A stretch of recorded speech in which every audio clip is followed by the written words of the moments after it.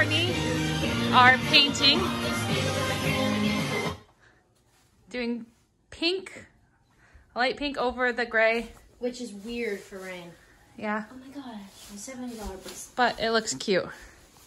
And somehow handprints ended up on the wall. I have no idea where those came from.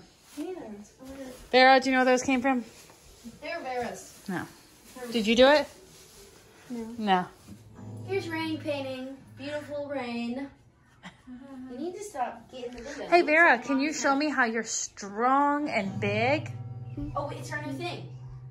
We gotta do it together, Vera. Okay, you want to show us? Ready, Vera? Okay, how do you You do gotta it? say the words. Say, say, I am strong and I am big.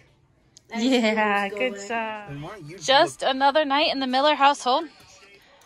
Josh is having a lot of fun ironing the carpet. What you doing, honey? Watching the game while ironing the carpet? Yeah, it's a new hobby. What's underneath there? A secret from Vera. Yay. Good evening, everybody. What are we gonna read? We're gonna read Hippopotamus Hiccup. Hippopotamus. Mhm. Oh. And we got it. We got Snorked today, which is a secret ninja random act of kindness. Uh-huh. And it says, Glad to know there are still Gilmore Girl fans out there for my fellow Gilmore Girl fan. Now I'm So we got this in the mail today from somebody who's a stranger that wanted to get it for the girls. And Oh my I'm goodness. gonna read it.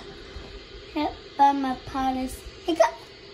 Oh, one hour later. Okay, like 15 minutes later, but you know. Looking great, girls. Okay, coat one of the Pepto Bismol, actually pink, is done. Coat two will have to happen tomorrow. Thank you for hanging with the Millers. Make sure you like, subscribe, and hit